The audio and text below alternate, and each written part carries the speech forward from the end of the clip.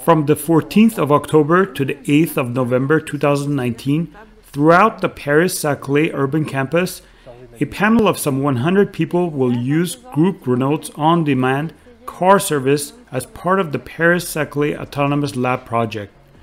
The daytime service using electric, autonomous, and shared Renault Zoe cab prototypes will allow panelists to move freely around the Paris Saclay urban campus.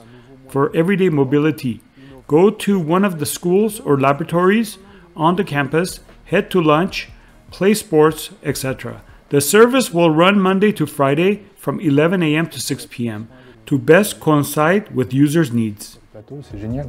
Pouvoir téléphoner pour prendre mes rendez-vous, de pouvoir euh, checker mon calendrier, lire, me reposer aussi. De profiter euh, pleinement euh, de la route, de gagner du temps. Récupérer du temps rien que pour moi. Ça a un avantage, c'est qu'on a souvent des réunions par-ci par-là. Il y a beaucoup de personnes, à mon avis, qui ont envie de savoir juste ce que ça fait d'être dans un véhicule et de se laisser conduire. J'ai hâte de découvrir.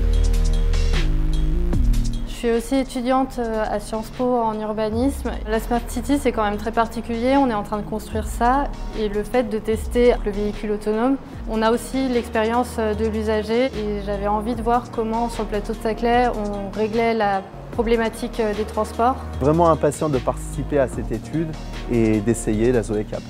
Un peu d'appréhension parce qu'une voiture autonome, j'aime bien tenir le volant tout de même. Hein. Vraiment hâte de, de me lancer dans un véhicule autonome.